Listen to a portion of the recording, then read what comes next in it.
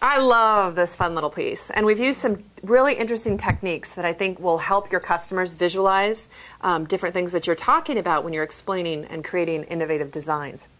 So one thing I like about this too is the stacked frame, right? We've used a Roma frame combined with a Bella.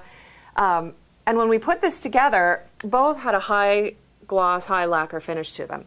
And when we put them together, the shiny orange didn't quite we, it just needed to tone down a little bit to help step down and transition to the piece. So we just hit that with steel wool. We took that shiny finish right off. So I think it's a nice, um, nice contrast between the two. And then the mat, again, fabric wrapped mat, which are highly profitable, great to showcase. But this one's a little unique. So these um, are just mat board cutouts glued to the mat and then covered the whole piece with, with a fresh piece of fabric, which is also the third mat underneath here. Um, but using the flexible fabric fillet um, from Frank's Fabrics, I think is a really neat technique. We use the same sort of linen um, throughout the whole package. Uh, I think it's really, really striking. I think it's going to be a, a favorite one of, of, of your customers for sure.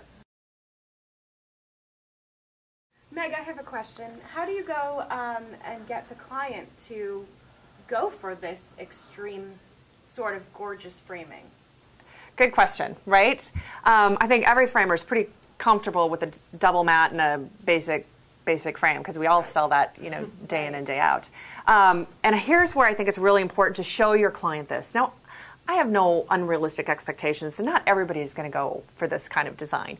But I think there's value in showing it, talking to your customers about it. So, what I do with my customers, I oftentimes ask them, you know, what the meaning is of piece is. So I know it's their precious dog and they had an artist create it for them or, you know, whatever becomes the talking point. Then I simply ask him, would you like me to show you how this could be really unique? And do you think they're going to say no? No. They're going to say, well, of course, show me. Um, and then uh, I start showing them past projects that I've done that have been really one of a kind, just extraordinary frames. Um, and then if by having a display on this wall, you can come over and show them what a stack frame is going to be like. And what when you stack the frame and then you take it away, take the orange out and see how plain it becomes, then they're starting to understand visually how important those extra design elements are. And um, so I think that's a good way to do it.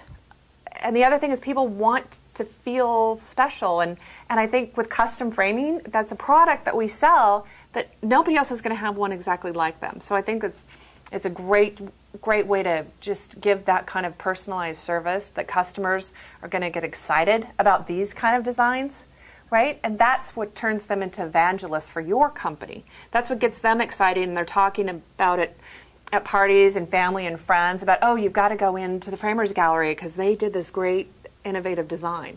It's creating that kind of excitement with your customers that are going to continue to make you guys really successful Meg, in terms of color, how do you know when too much is too much? Okay, so good question. So you notice this is a really bright, vivid image, right?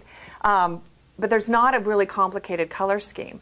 But deliberately, I used a cream mat around there because I wanted something interesting with pattern and texture, but not a lot with busy color. And then by repeating this uh, fillet fabric fabric fillet, uh, repeating the same color, it kind of creates that uh, repetition in the frame design. Um, but I think just staying with the color of the, the pop of orange with the dominant color in the background um, keeps it from looking too too crazy busy. But I think staying classic neutral colors, particularly on top mats, to keep it so it's a more timeless kind of kind of a look, I think keeps keeps customers happy. So if you were to bring in like a little bit of color, since it is a very bright, colorful piece, like obviously we don't want to distract from that, you would probably do it in the stacked frame and not in the matting. I think it's a nice design element, and I'd love to take advantage of this gorgeous uh, orange burl wood frame. Um, and yes, I, I, like the simplicity of doing the same cream colored mat on the top and down underneath also.